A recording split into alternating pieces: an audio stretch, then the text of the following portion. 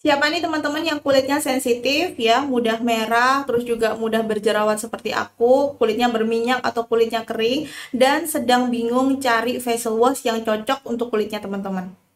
Jadi aku pakai facial wash ini ya. Jadi ini facial wash dari VH Beauty, produknya non SLS, tidak bikin ketarik sama sekali, bisa dipakai untuk semua jenis kulit, termasuk kulit-kulit yang sensitif. Terus juga untuk produknya ini dia bikin lembab di kulit ya, tidak ada kandungan scrub. Jadi untuk kulit-kulit yang gampang memerah seperti aku ini, terus juga ada jerawatnya itu aman banget. Nah, sekarang aku coba aja langsung ya untuk produknya. Teksturnya cair seperti ini. Nah, busanya seperti ini jadi dikit banget ya. Jadi busanya tidak terlalu banyak. Nah, saat diaplikasikan itu seperti ini, ini terasanya lembab banget di kulit.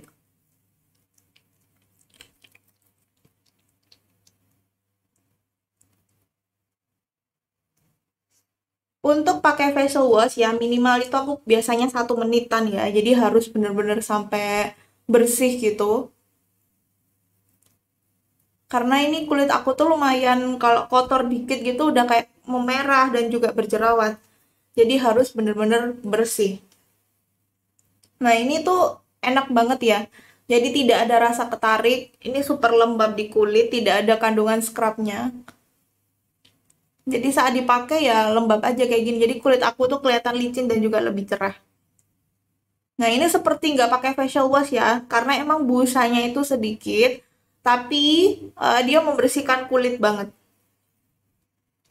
Jadi cukup pakai facial wash yang gentle, tidak usah pakai facial wash yang ada scrubnya. Kalau teman-teman kulitnya gampang merah, ya sensitif, terus ada jerawat, itu jangan pakai facial wash yang ada scrub, karena akan uh, bikin makin ruam dan juga merah.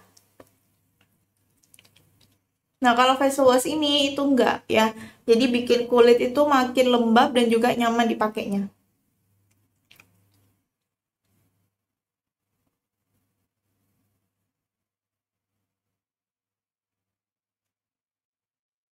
Nah, untuk finishingnya seperti ini, ini teman-teman bisa lihat ya, ini super lembab banget di kulit dan juga tidak bikin ketarik sama sekali.